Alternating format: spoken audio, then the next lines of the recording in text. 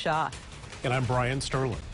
Tonight at 11, questionable comments from State Senate Majority Leader Mike Shirkey. Everyone from elected officials to Shirkey himself are responding to the video in which he calls the insurrection in D.C. a hoax. News 8's Jacqueline Francis is in the newsroom with new reactions tonight. Jacqueline?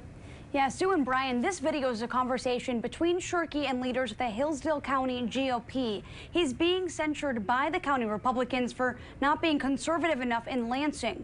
Shirkey's apology was short and sweet, but tonight Democrats are demanding more. What about the DC thing? I was there. so, um, that's what? Not at all. Caught on camera, Michigan Senate Majority Leader calling the January 6th insurrection on the Capitol a hoax. I already know that for a fact.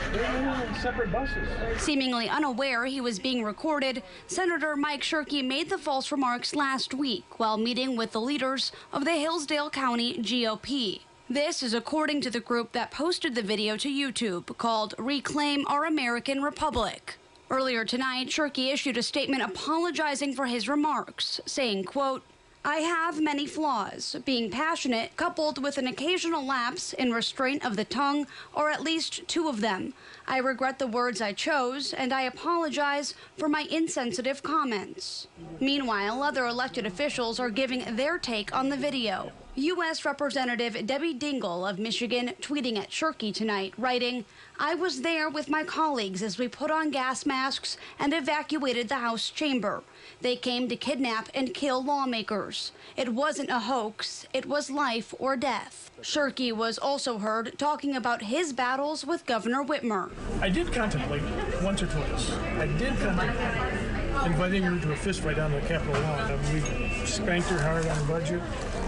Spanked her hard on appointments. A spokesperson for Whitmer responding with a statement saying, in part, it's disappointing that Senator Shirkey is spending his time on political potshots and indulging conspiracy theories. Governor Whitmer is staying laser focused on keeping people safe and getting Michigan back to work.